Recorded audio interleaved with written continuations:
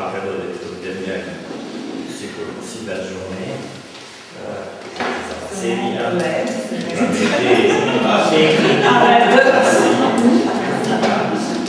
Euh, donc, euh, on a préparé quelque chose ensemble. Vous allez voir pourquoi. Xenia est architecte.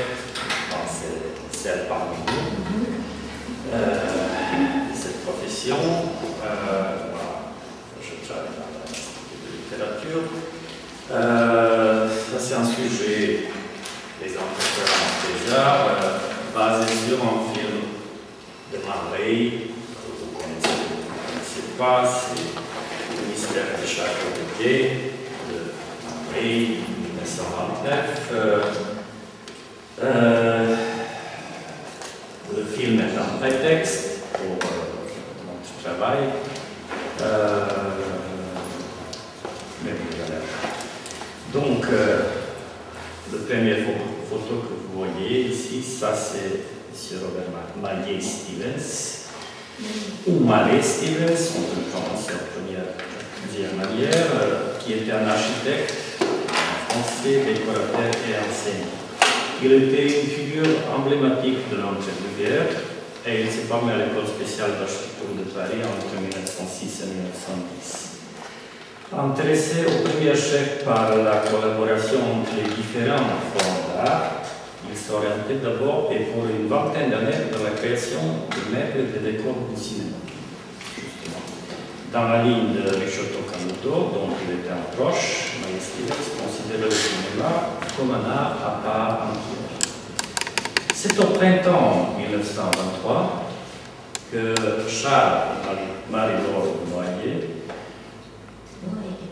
Ici, confie à Marie-Claire Stevens le projet d'une petite maison dans le Midi, modeste résidence d'hiver qui deviendra au fil d'agrandissements successifs d'étranges châteaux modernes. Prétexte au film surréaliste de Mandé, Les mystères du château de Dé. Collectionneur très impliqué dans les mouvements artistiques de leur époque, animé par l'envie de prendre un- une part active comme client à l'aventure de la modernité, il se met en quête d'un architecte capable de conduire l'expérience d'une maison moderne. Après avoir rencontré Nice Monderol, base de Weimar, puis consulté le Corbusier, considéré comme représentant de l'avant-garde, il s'adresse à Meillet, présenté comme un homme de goût et d'imagination par un ami commun. Il a construit une maison que vous voyez ici, sans aucune trace de décor ou d'ornement. On parle de 1923. Seule une horloge dessinée par Francis Jourdain répète toute le même air au mur de chaque pièce. Dans la même logique de dépouillement que celle volumes les espaces ne sont animés que par le jeu de la lumière sur les matériaux simples qui en forment les paroles. Sol en terrazolite, mur badigeonné à la chaux. Les œuvres d'un artiste sont intégrées sur l'art. Des vitraux de paliers, éclairent les paliers de l'escalier, embarrés de fer l'artère sur la colonne centrale, etc. etc. Euh, le mobilier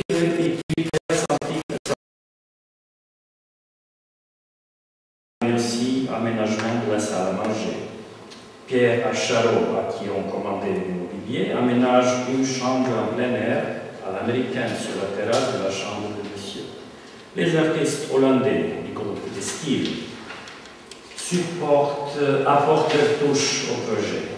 Doesburg est convié de 1924 à réaliser la mise en couleur des paroles d'une petite pièce consacrée à la confection des bouquets. Sigol van Ravenstein est chargé de mobilier de la polychromie de la chambre d'amis au deuxième étage, qui est réalisée en janvier 1926.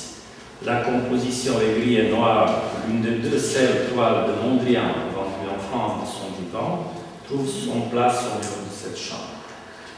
La réalisation, d'un mur d'ensemble par percé de baie et en surélévation du parapet de la terrasse Paris est décidée d'un commun accord. C'est étonnante, vous voyez ce jardin extérieur, vraiment étonnant. Cette étonnante disposition qui permet d'enclore une vaste pièce extérieure en découpant le paysage en tableaux, c'est le midi et c'est sur la colline, Chaque couverture, c'est vraiment comme un tableau qui donne un paysage naturel, semble suggéré par le client lui-même. Dans le paysage, cet écran joue comme une réminiscence des, des ruines du vieil château qui domine la cité. Il entoure de mystère la nouvelle construction et dissimule ses occupants. Après leur séjour inaugural de janvier 1926, les Noyers décident de pousser plus loin les expériences architecturales et d'augmenter les capacités d'accueil. La même année, séduit par le jardin d'eau et de lumière présenté à l'exposition de 1925 par Gabriel Guerrequian, Noyer recommande, par l'intermédiaire de Stevens, le jardin triangulaire à l'est de la villa. Vous voyez pièce d'art, c'est vraiment un euphémisme, c'est c'est vraiment quelque chose en œuvre d'art. Donc, euh, moi, un jardin, une sculpture géométrique rigoureuse, il alterne un damier d'art de mosaïque de pâte, de verre, avec les jardinières de tulipes à, l'origine. Donc, ça, c'est pas l'original, ça, c'est la photo d'aujourd'hui, parce que la ville aujourd'hui est en centre culturel de hier se trouve. a une figure qui finalement fusionne avec les paroles qui l'animent. Si en maquette il apparaît comme un enclos dont une fontaine constitue le point focal, en réalité, le sommet du triangle s'ouvre largement sur le paysage, comme vous voyez à la fin de la photo. Lors du chantier, le vicomte fait en effet disposer sur un socle tournant à la pointe du jardin une sculpture commandée à Jacques Lutschitz et interrompant le lieu périphérique ouvre une brèche à l'extrémité du kaléidoscope. À l'issue des différentes campagnes de travail qui alternent avec le séjour des noyés, la ville compte une soixantaine de pièces principales sur plus de, plus de 2000 mètres carrés, constituant dans la cité un ensemble globalement homogène. La villa Noyer figure parmi les toutes premières constructions du style moderne réalisées en France. L'architecte Ron Maillet Stevens met en application les préceptes fondateurs du mouvement rationaliste. Fonctionnalité, épuration des éléments décoratifs, toit, terrasse, lumière, hygiène. Les extensions qui vont se succéder jusqu'en 1933, ainsi qu'à la remarquable mise en valeur du cité parmi jardin, vont faire de la modestie de notre maison villégiature un véritable paquebot mobilier, immobilier. Euh, maison héliotrope dominant l'abbaye d'hier, la villa Noyer célèbre en ouvert art de vivre, le corps et la nature sont privilégiés. Issu euh, des familles prestigieuses Charles et Marie d'Or de Noyer, collectionneur et amateur, son et de modernité, il devient, à la suite de la commande de villa hieroise, des mécènes avisés, aimant le risque et la nouveauté. On leur voit des découvertes ou des impulsions fondamentales dans le travail d'artistes qui l'ont soutenu. Que ce soit la peinture Salvador Dali, la sculpture Jacques Lutschitz, Alberto Giacometti, la musique Francis Poulenc, Igor Markevich, la décoration Jean-Michel Franck. Il s'enthousiasme pour le cinéma en finançant trois chefs-d'œuvre. En 1929, le film surréaliste Marveille, Le mystère du château d'Idée, tourné dans la villa. Et en 1930, le premier film de Jean Cocteau, Le sang d'un poète, et le deuxième de Louis Buñuel et Salvador Dali, L'âge d'or. Ce dernier opus provoque un scandale terrible et sera censuré pendant 50 ans. Comme Mae Stevens avait réalisé une bonne vingtaine de décors de cinéma, parmi ceux-ci, L'âme humaine de Marcel Rebier. Vous voyez le décor justement pour ce là Le miracle de l'eau de Raymond Bernard, La ronde de de Marcel. On se demande s'il n'avait pas imaginé Noyer avant sa déjà comme un décor de cinéma. Man Ray, né Emmanuel Lubitsky aux États-Unis et mort à Paris, est un peintre, photographe et réalisateur de films, acteur de dadaïsme à New York et à Paris, puis du surréalisme à Paris. En 1921, il a débarqué à Havre, puis arrivé à Paris où Marcel Duchamp le quête. Avec Art, Ernst Masson, Miro et Picasso, il présente ses œuvres à la première exposition surréaliste de la Galerie Pierre à Paris en 1925. Euh, à Montparnasse, durant 30 ans, Mandré révolutionnait l'art photographique. Les grands artistes de son temps posent sur son objectif, parmi eux Joyce, Gertrude Stein, Duchamp, Sarah, etc., etc. Il avait réalisé plusieurs films d'avant-garde. Le retour à la raison, Aquarelle de jeunes filles, Emmanuel Bakia, L'étoile de mer, Le mystère de Châteaubriand, et dernier essai de simulation du délire cinématographique en 1935. Donc, invité par Charles Desnoyers à réaliser un film de fiction, il est enthousiasmé par des corps naturels. Il manifeste son admiration pour l'étrange villa. Sévère et discret, ce bâtiment semble vouloir dissimuler l'opulence qu'il abrite, raconte-t-il dans ses mémoires. Les formes cubiques du château me font penser au titre poème de Mallarmé, un coup de dé, jamais n'abolira le hasard. Ce sera le thème du film et son titre aussi, Le mystère du château de Un coup de dé, jamais n'abolira le hasard, est un poème de Stéphane Mallarmé paru en 1897 dans la revue Cosmopolis publié en 1914 dans la Nouvelle Revue française. Composé en vers libre, c'est l'un des tout premiers poèmes typographiques de la littérature française qui va certainement influencer d'abord Apollinaire, puis les dadaïstes, avec leur poésie orthophonétique, donc plusieurs photos, vous voyez ces influences qui sont, succédées. Euh, donc, Apollinaire, Grand, Osman, le poème orthophonétique dadaïste. Donc, Stéphane Mallarmé, qui est un des plus grands poètes français, il avait l'ambition de créer un poème absolu. Et c'est ce qu'il a pensé, il avait réussi avec ce poème, un coup de déjà Ménabolé de Lazare. Et cette recherche d'une expression tendue vers la lecture, vaut cependant dès l'époque les approches d'hermétisme qui reste attaché à son art. Donc, en 1929, Man réalise Les mystères du château. Vous allez maintenant voir. Je viens de commencer.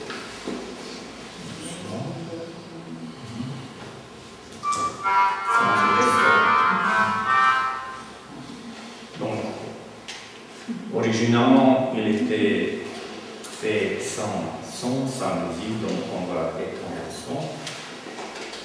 Donc, film qui était commandé par Vicomte.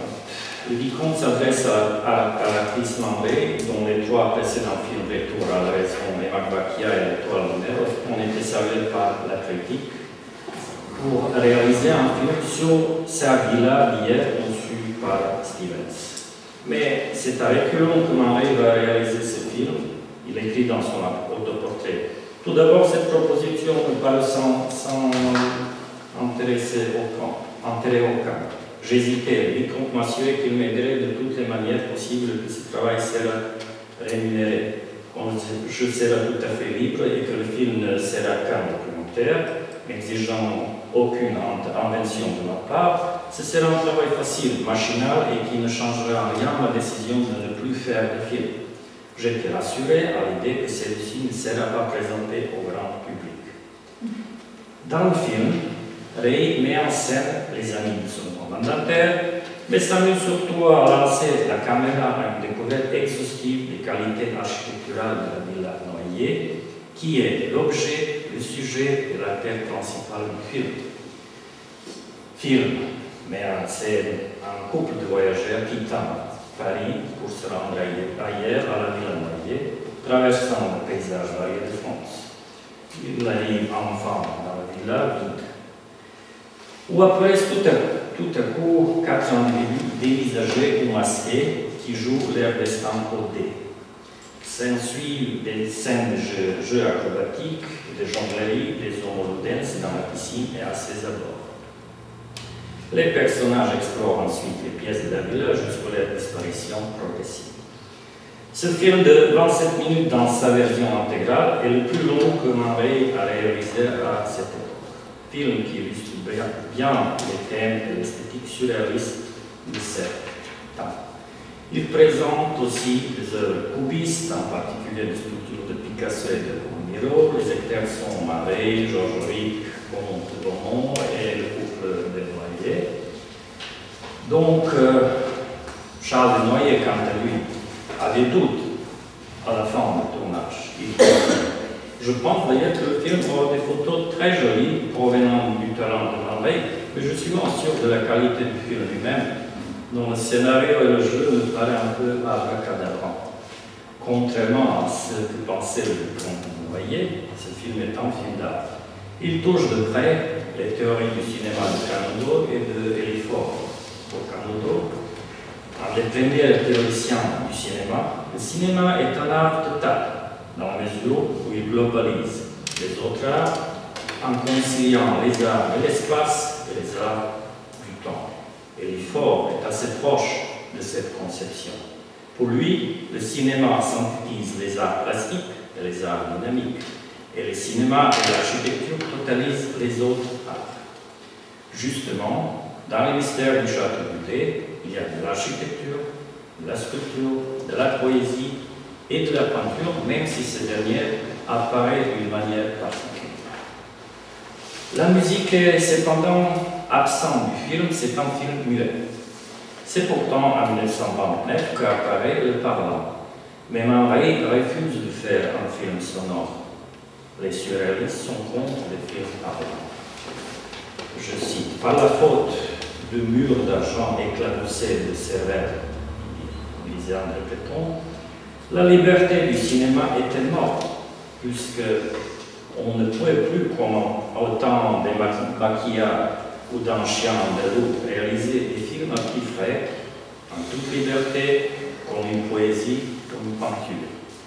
Restait le mécénat, ou plutôt le dernier saint, le vicomte de Noyer, qui avait l'habitude d'offrir un film chaque année à sa femme Marie-Laure, écrit Georges Sado, un joli cadeau. C'est effectivement grâce au vicomte que Marais réalise ce film qui a comme particularité majeure de toucher à tous les arts, excepté à la musique. Comment ce film réussit à convoquer et à mettre en moment ces différents arts? Comment Marais sert-il des différents arts pour, pour filmer l'architecture qui est d'habitude immortalisée par la photographie? Ce film d'un genre particulier a pour sujet la villa de Noyer, qui est en elle-même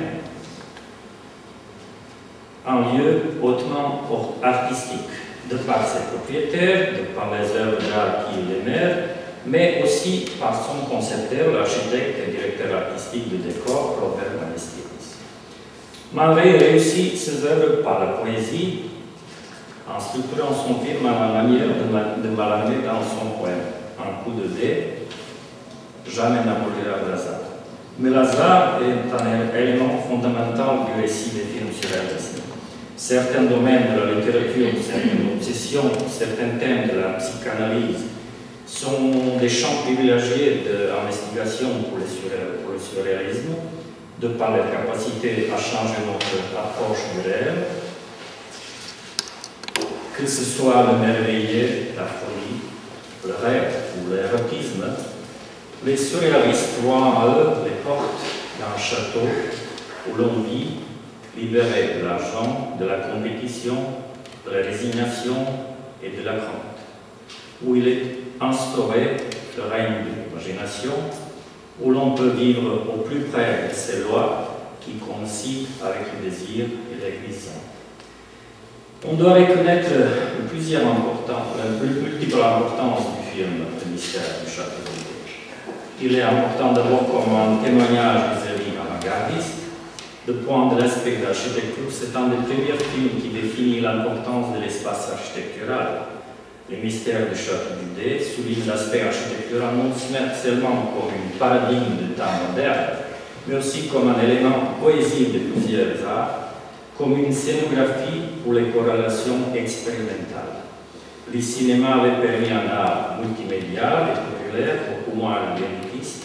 C'était un vrai médium pour le XXe siècle. Merci.